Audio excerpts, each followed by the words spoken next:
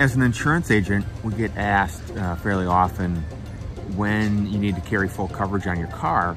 And it's really quite simple. If you're in a car accident and you want to repair or replace your vehicle, then you need to carry full coverage on your car. Well, what is full coverage?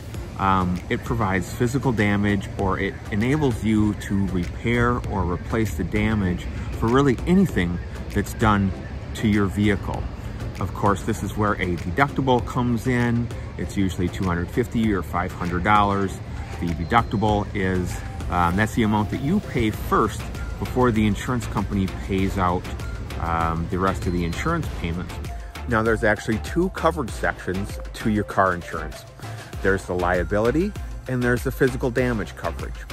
The physical damage coverage is what makes up full coverage.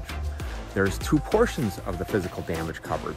There's comprehensive coverage, which covers things like hail damage, theft, vandalism, and there's collision, which covers any type of moving accident. So the comprehensive and collision are the two coverage portions that make up your full coverage.